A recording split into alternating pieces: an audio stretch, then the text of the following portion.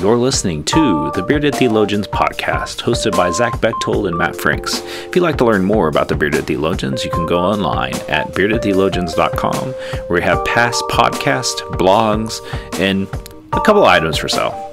So check us out, beardedtheologians.com. Thank you for listening and enjoy this week's show.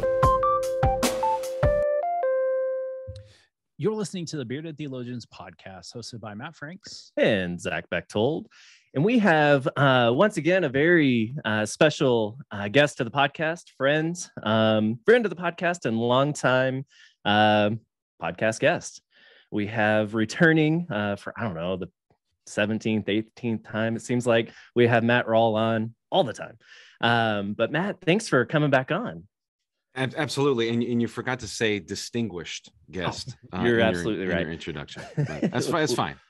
We, we'll we can re-record that. that. we'll fix it in post. no, it's great. It's it's always great. It's always great to be here, and it's tons of fun to to talk with you guys. Yeah. Well, thank you. Well, you uh we often have you on because you uh you are an author uh yeah. as uh, as well as being a pastor and just an all-around wonderful human being. And uh yeah, make sure you play that for your wife later. Uh yes. As proof, as, as proof. proof right? See, these guys said I'm a I'm a good guy. So it's we, true we got your back. but you, you, but you have a new uh new Advent book coming out uh yeah. called the the Heart That Grew Three Sizes. Uh yes. Matt Franks has Excellent. it there and if you're watching the video. Uh but tell us a little bit about it and uh how it came to be. Yeah. So uh the inspiration for the book was I felt like because of COVID and shutdowns and and and all of the above, I felt that the Grinch stole Christmas last year. and I had to, I had to make sense of that. I had to process that. I had to make sense of it, and and it it led, at least within in my congregation, it led us into trying to discern what was essential in terms of our worship. Mm. And the, the feeling of something being stolen, that the feeling of something missing, that and diving into what is what is essentially Christmas. I mean, it, it writes itself after a while. Like that's that's what the Grinch story is about, you know. And I never thought in a million years I'd ever write a book based on a Dr. Seuss character. You know, this is it's not initially kind of my my realm, uh, but it just made too much sense because I I needed to make sense of of what had happened uh, over, over Christmas. So that was that was kind of the inspiration uh, of the book. And thank you to Abingdon Press that when we have these bozo ideas, uh, that they're game and they greenlight it and we and we get it done. And it's right. uh, it's tons of fun. And and I hope that that folks who pick it up uh, are in a similar place. Like something was missing last year, and and we need to process that. We need to make sense of that, uh, especially as we gather now this year. At least, fingers crossed that we gather right. in person this year uh, uh, for Christmas Eve. So yeah, that, that's the inspiration behind the book uh, uh, for sure. Absolutely, no, I I love that. I admittedly not the biggest uh, Dr. Seuss fan, sure, but right there's some baggage there. Can I can I say that out loud? There's a little bit yeah. of yeah. Dr. Seuss baggage. Yeah, sure, for sure. sure. Um, but the idea to frame frame it around what we've all experienced in the last two years, right? And and missing major moments, not only in the church, but in in our day-to-day and family lives, with Christmas being a huge one and having to make that choice. Do we gather? Don't we gather? What do we what do we do here? Right. And and that grief of loss in the midst of that that goes really unnamed in a lot yeah, of spaces. and that's yeah, exactly. So so that was kind of step number one is naming it and claiming it and and understanding that there was something missing uh, and wrestling with that. You know, and, and the story starts off uh, is uh, it says that the Grinch hated Christmas, and the word hated is italicized mm-hmm. in the original story.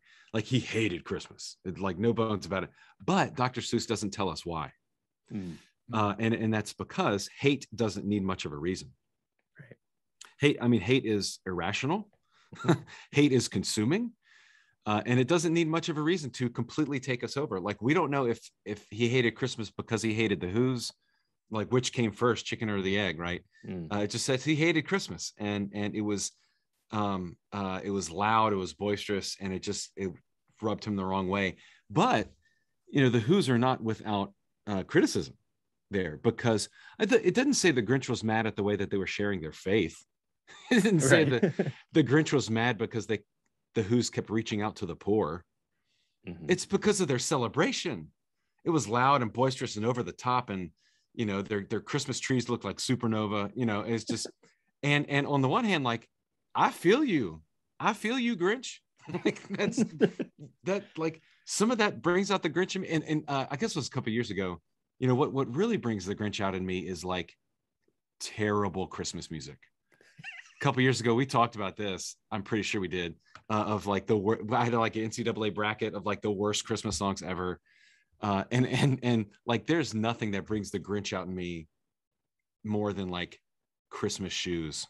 Or yes. there, there's this other song um, where's the line to see jesus?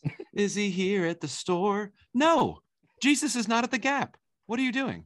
Why of course you can't find jesus at the store because he's not there god and, and the song that won i don't know I, can't remember when we recorded last time but the song that won was daddy please don't get drunk this christmas by john denver Yeah. it's, the- it's like the worst Christmas song ever.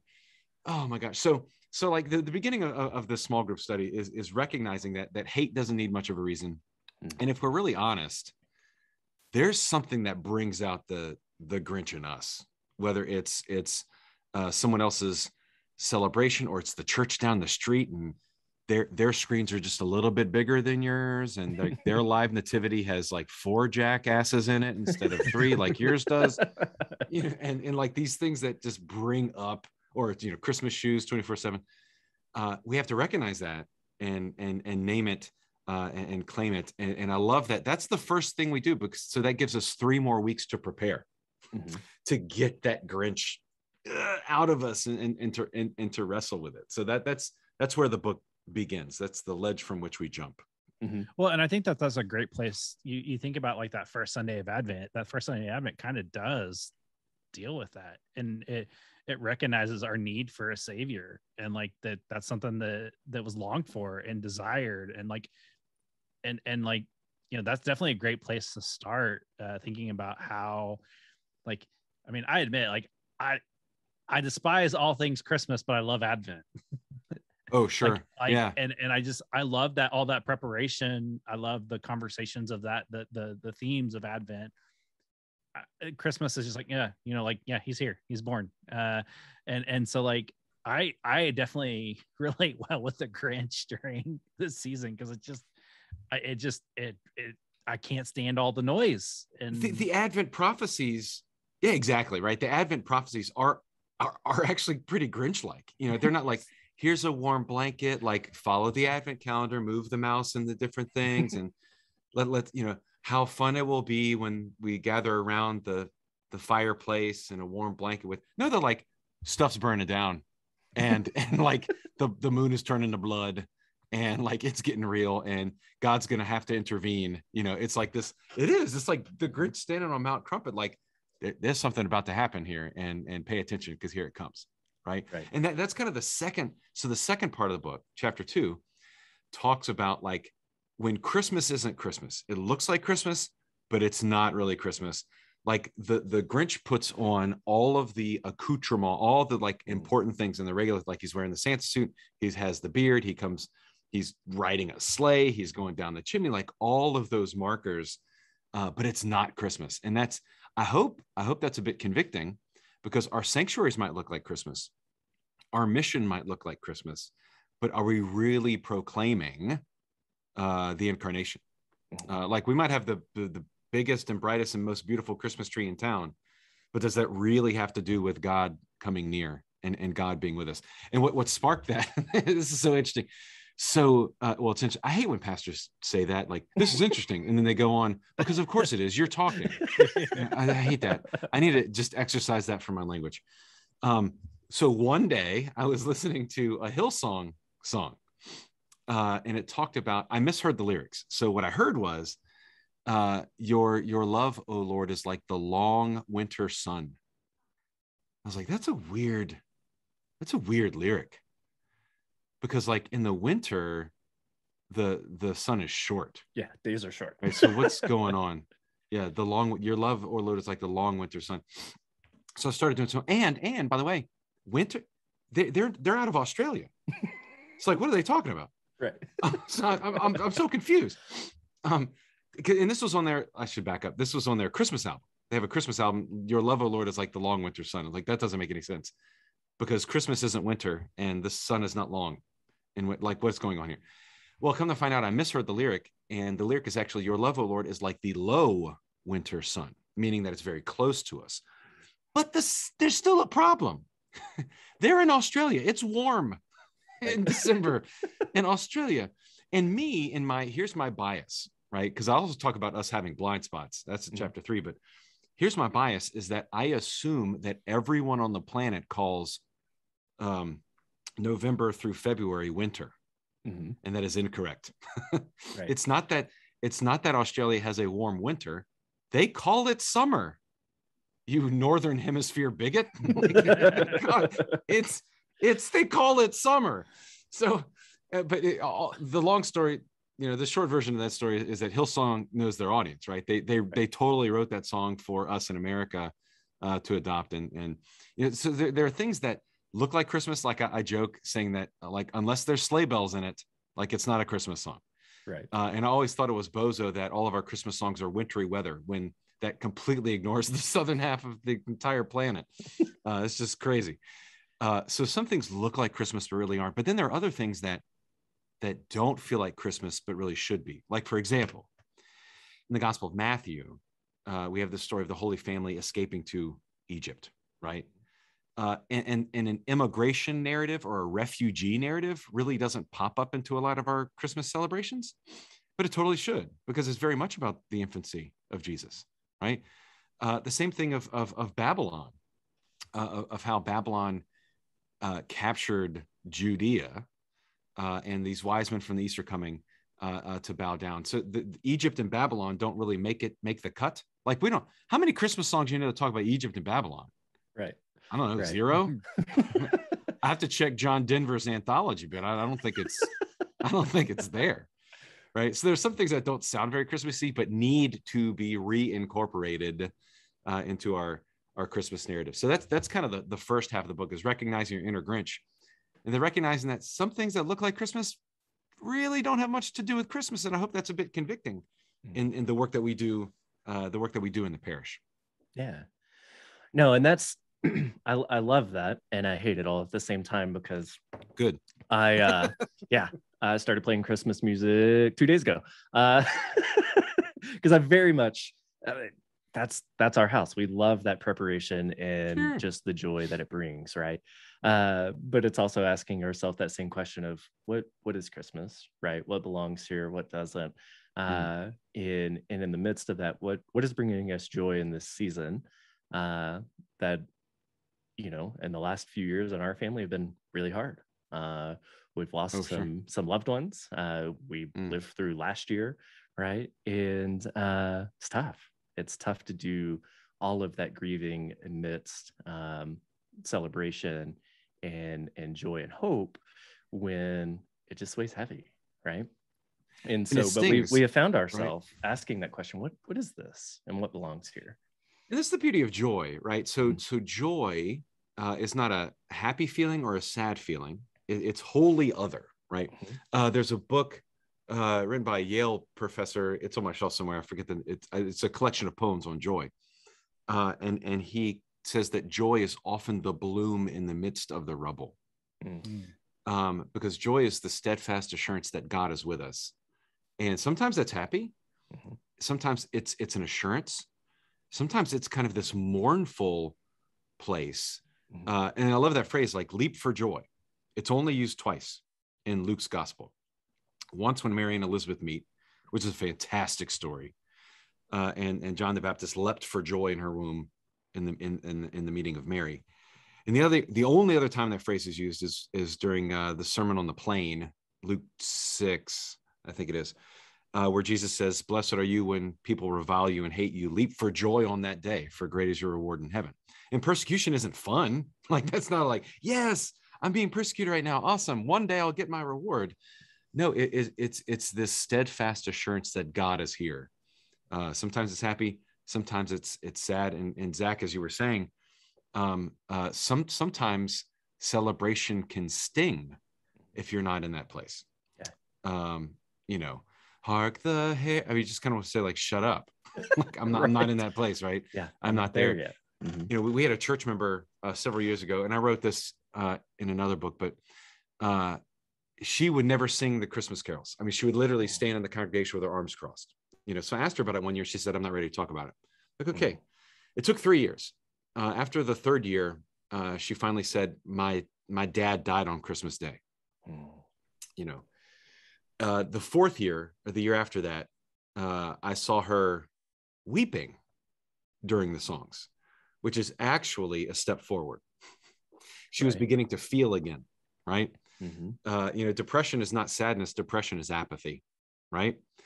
Uh and she was beginning to feel again you know so it it, it was that moment where it's not that they were happy tears it's not that they were sad tears it was this joyful place where she was beginning to feel again you know uh and and that that that's ultimately where the where the book points right? So so the so the grinch does this thing like he steals christmas away you know and he goes back up to mount Crumpit and he has all their stuff and he's stolen it uh, all away. And then he just waits right? He waits like uh jonah on the other side of nineveh waiting for it to explode right? He's just Right. sitting there waiting for the fireworks. I mean like with his ear like he's like you know crooning his neck uh, craning his neck crooning his neck craning his neck uh, uh, to hear, waiting for the weeping and gnashing of teeth. And it doesn't happen. They start singing a joyful song. And we're not told specifically why the Grinch's heart grew three sizes. We just know it did. And my suspicion is that it's it's um it's it's it, it's the music. Uh, because sometimes music communicates what words just can't. You know, how can I keep from singing? that great great hymn um where you know I, I experience inmost lost you know but but how can i keep from singing? It's just this beautiful moment. Um uh, but that's not the end of the story. So but like so he's like he grabs all their stuff and he wants to go down. But there's there's there's more because the the who's and this i think is a lesson to we polite church folk. The who's could have asked for the grinch's head. Sure. Yeah. they could have you stole my stuff right? They could have marched up the mountain uh beauty and the beast style at the end of that at the end of disney's beauty and the beast where they have pitchforks and torches young frankenstein pick pick a metaphor.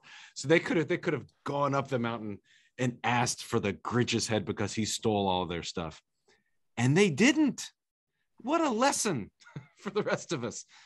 Like because we always we always so focus on the grinch. I mean the namesake of the book but at the end of the story the, the reconciliation and the forgiveness that the who's offer.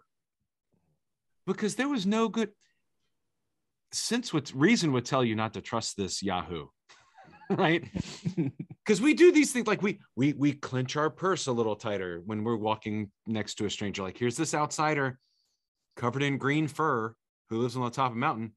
He stole all your stuff. Like if if that happened in Bossier City, this, this we're not dealing with the same end of the story. right. So and he like approaches the city. Like, what is he going to do now? You know, we should stop him. We should self-preservation, right? We should protect him. You know, let's get him. But no, they let him in. How foolish is that? And it's because the gospel is the gospel is foolishness. It's absolute foolishness. Um, uh, for all the right reasons, right? They let him back in to their in their life, and not only that. Oh my gosh, I'm preaching. I'm so sorry, guys. I'm preaching now. but like, they give him a seat at the table, and not just any seat, the best seat. Mhm. And he's sitting there on the last panel of the, of the story. He's carving the roast beast at the end of the story. The last shall be first, man. Oh, and he's car- and, and I love this because the story's not overtly religious. Like Jesus is not mentioned. Like they they don't even have Christmas carol. Like it's just it's it's a cultural expression of Christmas, right? Uh, there's a star at the top of the tree, not an angel, this kind of thing. But in the last panel, there's the Grinch carving the roast beast, and there's a wreath behind him that looks like a halo. Mm. It's almost an icon Mhm. right? I mean, it's just this kind of iconic picture of peace and reconciliation. And I hope to God that we can all get to that place, right? Because like it it burns it, it burns my biscuits when we have these dumb arguments that we hash out every year, like happy holiday. Don't say happy holidays. Like we should be able to say Merry Christmas. Like get over yourself, bro. Right. Like, Right. it's happy holy days anyway. Like it's like like the same thing with Halloween. Like people get bent out of shape. It's all Hallows Eve. Like Mhm. cut it out. it, it, it's rooted in the church, man. Right. Uh, you may have forgotten that it's rooted in the church, but it's it's rooted in the church, man. Uh, you know, like the whole Starbucks red cup thing. Like y'all, um, the Who's could have asked for the Grinch's head because he stole all of their stuff and didn't even bother to hide away the evidence. he brought right. it all back, man. Yeah. Uh, Well, and and he was at their mercy. You know. Yeah. Go ahead. and that's what I that's what I love about these stories and and what we find in in parables, right? When we read them as the church and as Christians and as people, we Yeah. like to put ourselves in in the shoes of the who, right? That's that's what we would do. We would welcome the Grinch back in and let him let him have Sure. the best seat at the table. Like we would be Jesus, and as the four friends lower the paralytic in, we would tell him, right? We're not the grumbling, you know, cynics and religious leaders in the corner. No, we're Jesus. We're the right? faithful ones. we're the faithful ones. We're the ones doing this. And yet, how often do, if we're honest, right? Right. When we're griping about red cups and Christmas music in November and whatever it is, right? I We're love- so- Yeah. Uh, we can't possibly be Rome, right. in the story. right, exactly. the Exactly. powerful nation Mhm. that colonizes. We can't be. Yeah. We're we're the Jesus in the story, right? Uh-huh. of course.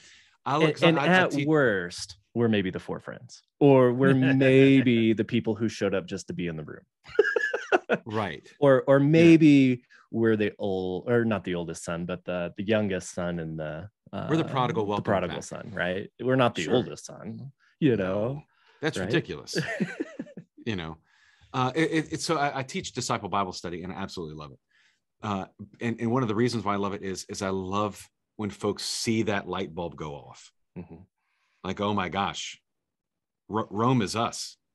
Mhm. oh my god and look i'm just reading the bible like i don't walk in there and say you will have an epiphany today where you Right. will realize that we're not always the hero of the story you know we are in need of redemption right Mhm. uh, uh it's because we we do we read and we write our own history so that and we draw lines in the sand so that we're in Mhm. and and so that we're the hero Mhm. of the story and that's some honestly sometimes that's true Sure. uh but not all the time certainly not all the time uh, uh you know because like we're reading right now we're in the, in the story of david uh and when you really read david's story because david is like put on this pedestal when you get to the new testament you know jesus is from the line of david like Yeah. have you read david's story jiminy Yeah. christmas Yeah. like he's i could say worse but like that that's a messed up story Oh, so messed up. and and you think you think Bathsheba's the worst part of that story? Keep reading. Yep. Oh my gosh, you know. But we, so I, I love when look, reading the Bible is super important because it reminds us, like like like when when the ancient Israelites are, are called to like decimate cities and kill everyone, and we claim that like other traditions are violent. Mhm. We don't. we have forgotten our own story. Right. Holy smokes! So all of that to say, I, I- hope that the Grinch. It's a fun story. It's it's recognizable. We've all heard it, read it, viewed it in some way, shape, or form. Kids know it. You know, so it's accessible to everyone. So that's that's kind of the led, ledge from which you jump. You know, it, it's it's like the Gospel of John, the people that Jesus meets. Uh, and I got this from another book, so it's not original, but like Jesus is this light of the world, but the characters that Jesus meets are the prisms that Mhm. break up that light so that it's palatable, so that we can recognize it and hear it. And the Grinch is kind of this story. It, it breaks up this this Jesus moment uh, in a palatable way. I hope when you're reading it though, you first realize like, oh man, I'm more Grinchy than I thought. Mhm. uh wow i needed i need to think well let me let me consider my christmas celebration like maybe i'm loud maybe i'm too loud like the who's and i and i've forgotten really the point of the story and and then maybe at the end of the end of it all who who do i need to forgive Mhm. uh, because i want johnny's head because he offended me last year maybe what would it look like for us to break bread together at the end of it all you know that's kind of the trajectory you know Mhm. of the story and, and and i hope it's a, a blessing to Yeah. anyone who picks it up you know Yeah, no, I, I appreciate you uh, putting putting a story that I'm not terribly fond of into a life that's sure. that is Yeah. that is that is palatable right? That is that is preachable that that gives it a meaning beyond uh you know the cartoons and movies and things that we've, yeah. we've seen iambic pentameter. Yeah, yeah yeah. Yeah. made up words. Yeah, Yeah. for sure. And in in doing it in such a way that for me what a blue christmas service does yes uh to bring in that space where man we know some things are too loud we know some things are too bright but we're holding that tension between grief and celebration which Mhm. for me is is where joy lies right yes yes um, absolutely Mhm. in in knowing that we need to take a moment make space that we're not ready to sing carols we're not ready to do this celebration we're not ready for this but we're all in need of this redemption and salvation uh and this space just to grieve our loved ones or grieve a year past or grieve whatever it is that's making us feel and and be in this space that uh is joyful but holds that tension between grief and celebration uh and acknowledge that maybe we're just not ready uh Yeah. and and for me i think that's what the story does right uh in a lot of different ways is making that space for uh for people to be in this season Well, I think for me, like it's that um this story I've always loved the cartoon, like the old cartoon with the music. Like the music, for some reason, I've always been drawn in with the music. I care less about the story was happening, but the music itself really uh connected uh with me. And just thinking of, you know, I can hear in my head uh, you know, you're a mean one, Mr. you're a mean Grinch. one mr Yes, grinch like, yes It's just such a beautiful, I mean, just the music itself in that classic cartoon, like to me, like that's where it's at. Like that's how, like when I think of the story, that's where I go. And then, like, you know, as you think about some of the other ones that have come out over the last few years, like, man, that, that just doesn't resonate. And I think about that, like, in regards to Christmas, like, we all long for like that Christmas that maybe we had as a child.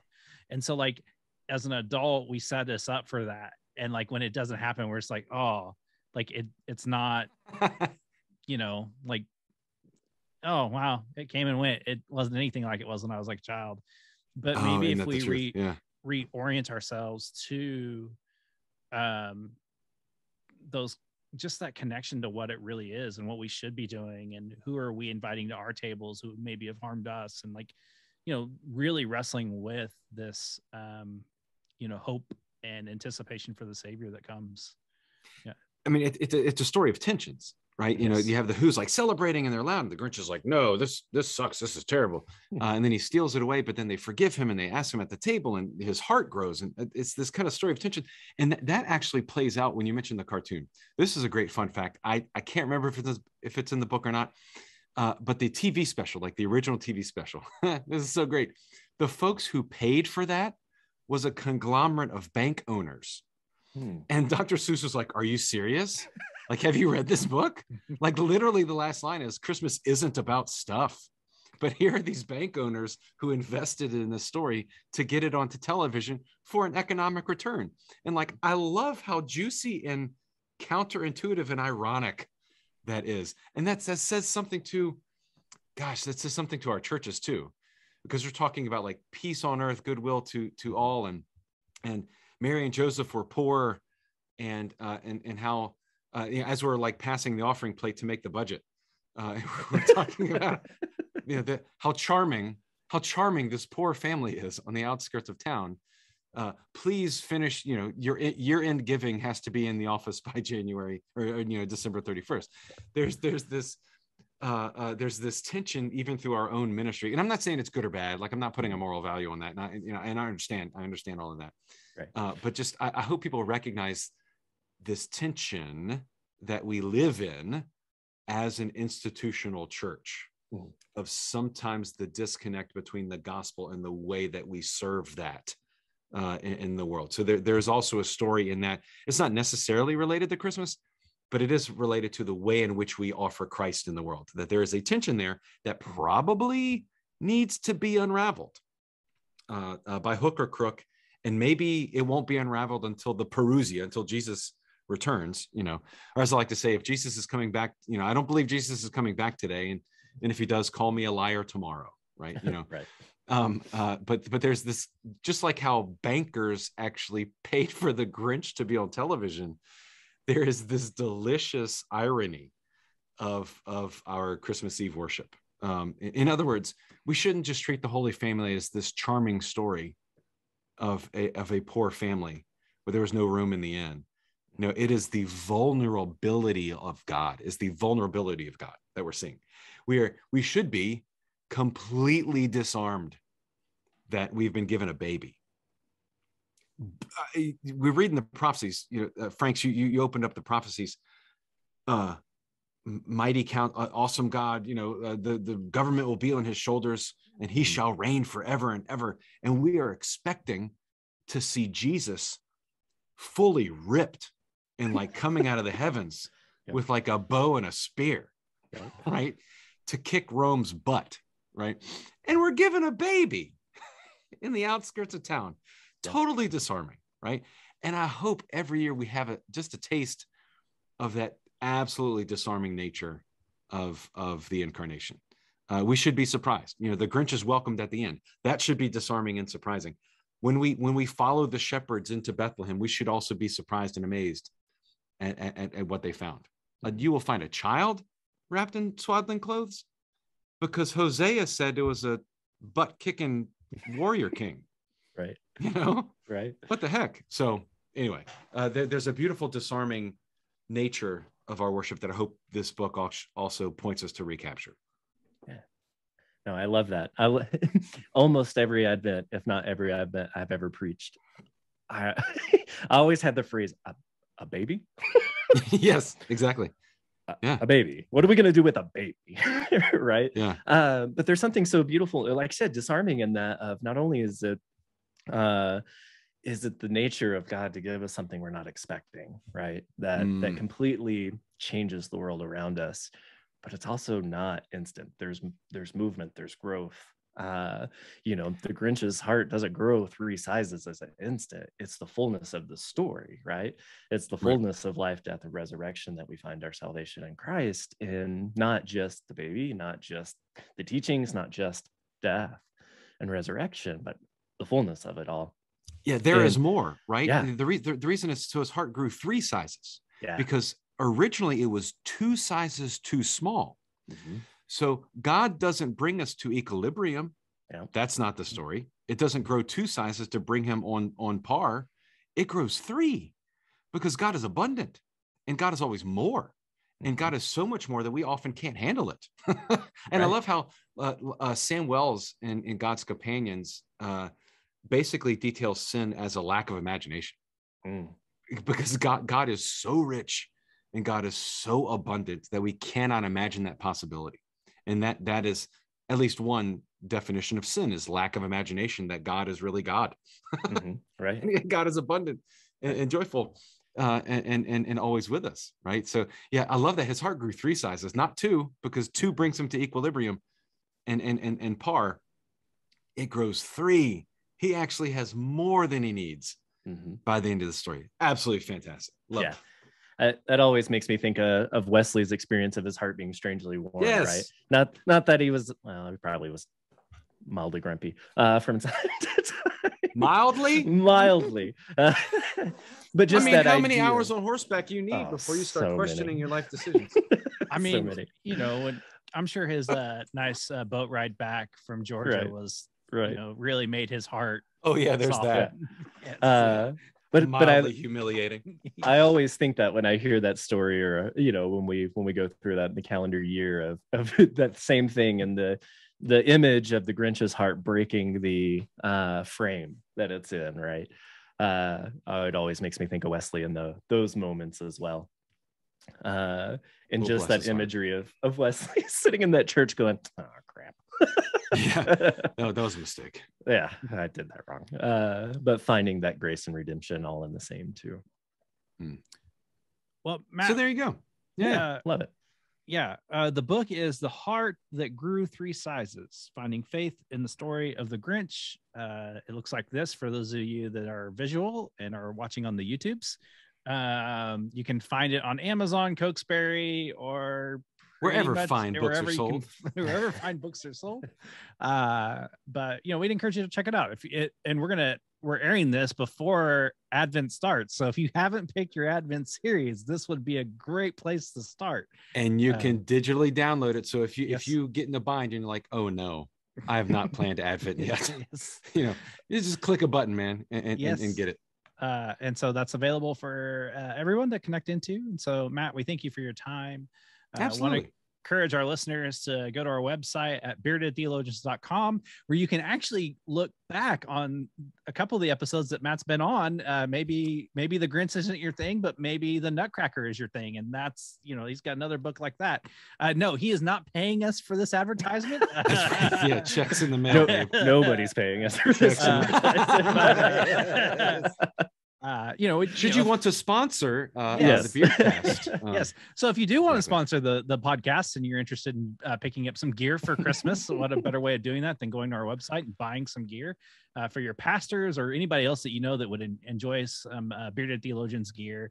Uh, and you can find all that at beardedtheologians.com. And so for the bearded theologians, I'm Matt Franks. I'm Zach Bechtold. Thanks for checking us out. First, guys, I want you to subscribe and